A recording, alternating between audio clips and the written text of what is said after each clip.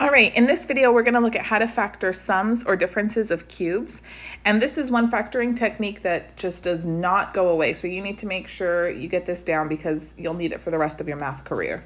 So first, let's look at what the pattern is. And you basically just have to memorize it and apply it correctly. So a difference of cubes is when you have two terms of the form a cubed minus b cubed.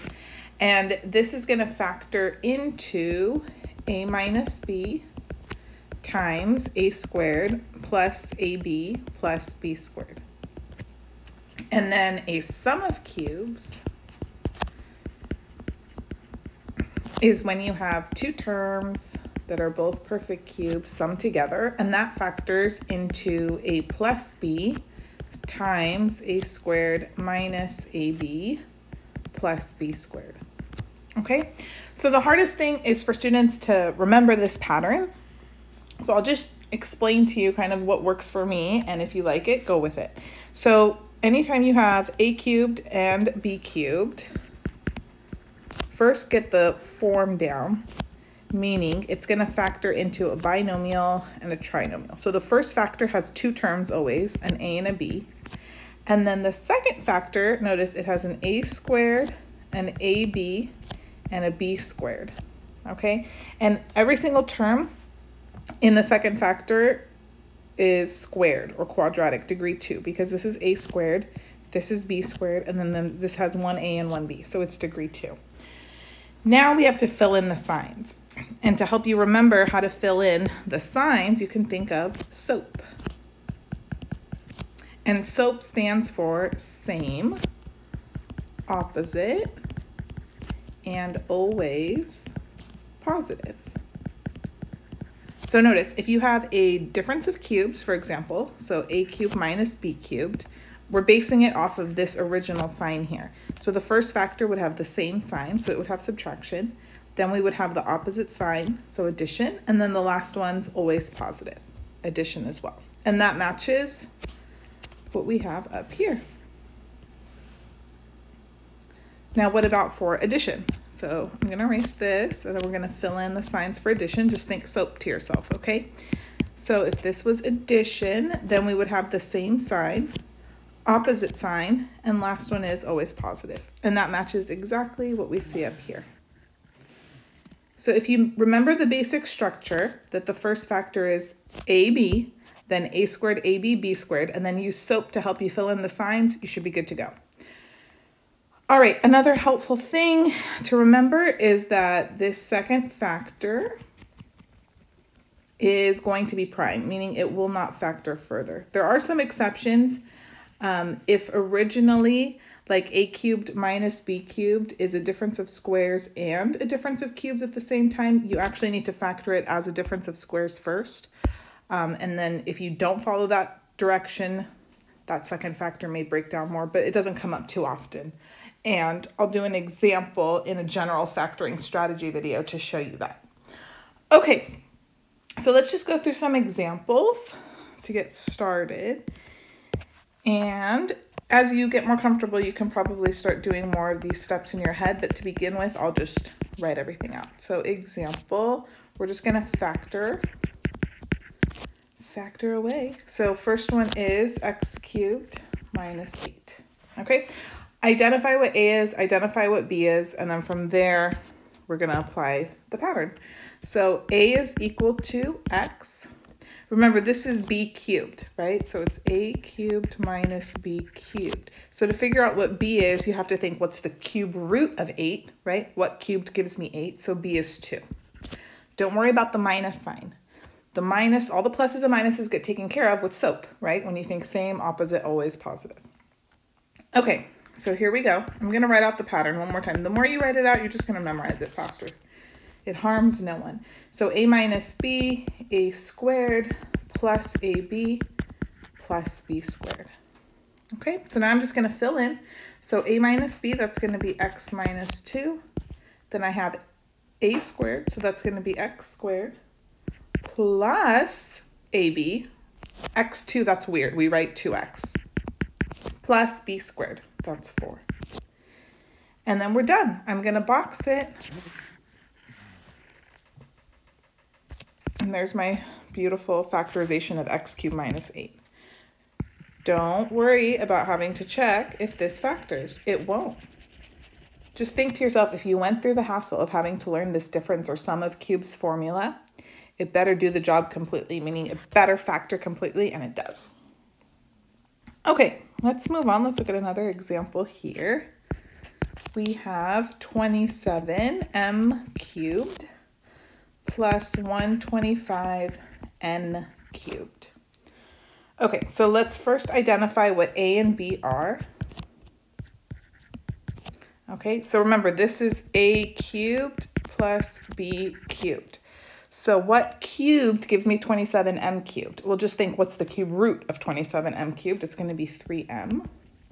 And then similarly, what would b be? b would be the cube root of 125n cubed, so 5n. And remember the pattern for a cubed plus b cubed, you're going to have a plus b times a squared minus ab plus b squared. Okay, so let's fill everything in. So a plus b, that's going to be 3m plus 5n. And then right here, I want you to be really, really careful. A lot of students forget. If you have a squared, I have to square the 3 as well as the m. So that's going to become 9m squared. Okay, watch out for that. I'm going to draw these eyeballs so you know to pay attention. Okay, next is minus AB. So A times B, that's going to be 15mn plus, and then be careful again, what's B squared going to be?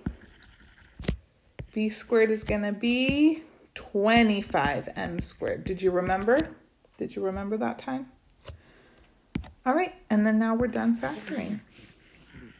So you can see like as long as you know ooh, the formula, it's not too difficult. Okay, let's move on to another case. Example C, we have 8k cubed plus 1. All right, what does A equal? So A is 2k and B is 1. All right, now if you want to live on the edge a little and you feel like you're ready to just go for it, you can set up your parentheses, right? And then you know it's going to be AB. So you would just write 2K1. This is going to be A squared, which is 4K squared. AB is 2K, and then B squared is 1. Okay, and then you don't have to write out this whole part if you're already pretty comfortable with the pattern. Okay, now let's go ahead and fill in the signs. So you can use SOAP to do that, right? So this was addition. So just think to yourself, same, opposite, always positive. And you're done. Let's box that one up. Okay.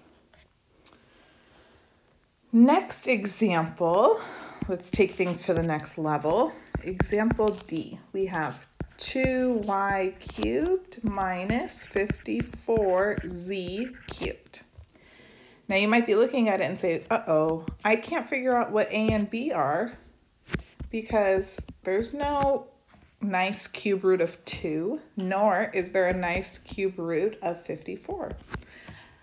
And that's because we haven't factored out the greatest common factor yet. So before you start applying some sort of formula or factoring technique, remember the very, very first step to any factoring problem is to take out that greatest common factor. Well, what can I take out from 2y cubed and 54z cubed? Well, I can take out a 2. So let's go ahead and do that first. So I have 2 times y cubed minus, and then now I have, ooh, 27z cubed. That looks much better. So when you factor, you're just going to focus on the y cubed minus 27z cubed, and that 2 is just going to hang out and come along for the ride.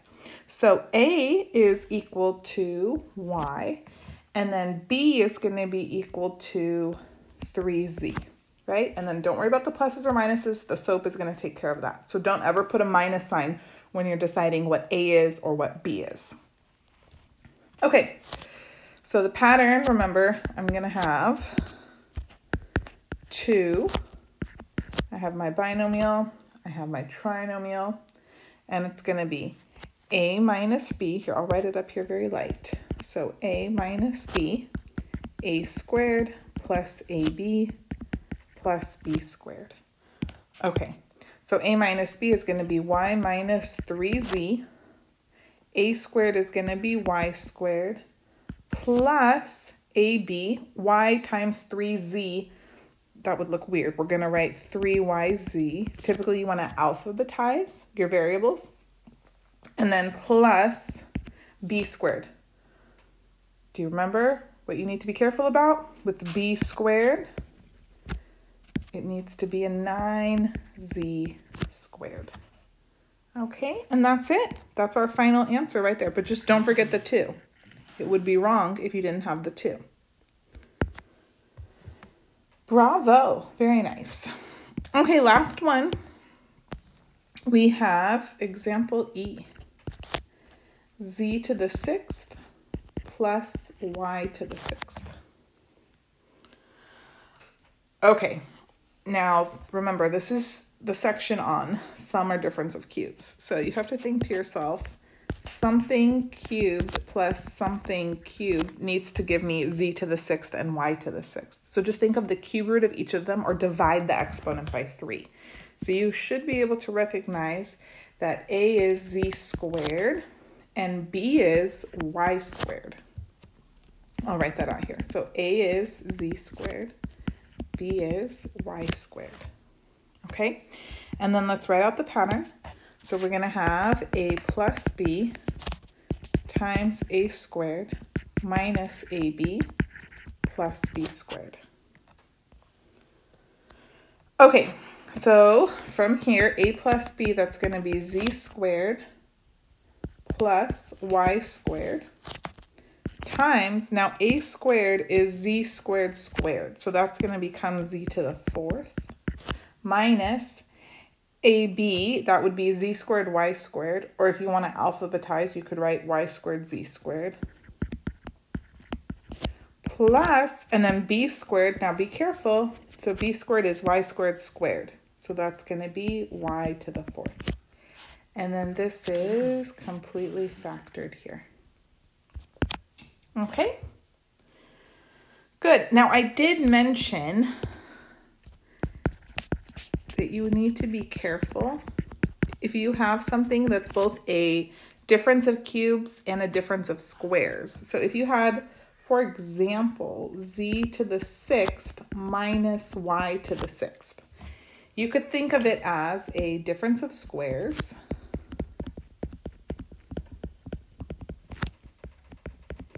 if you thought of it as a difference of squares, then it would be z cubed squared minus y cubed squared. Or you could think of it as a difference of cubes.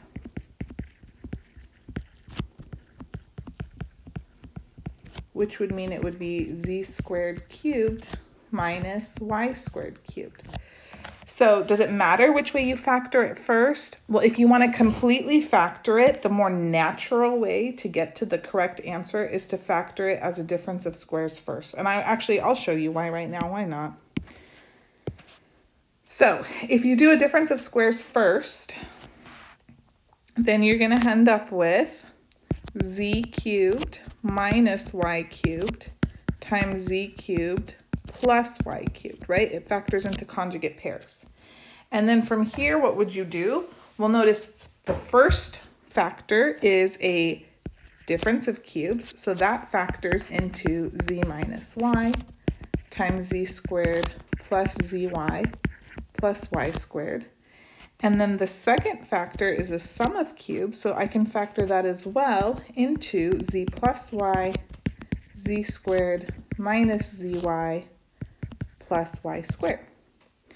And then I can, usually you want to list out the shorter factors together in the front.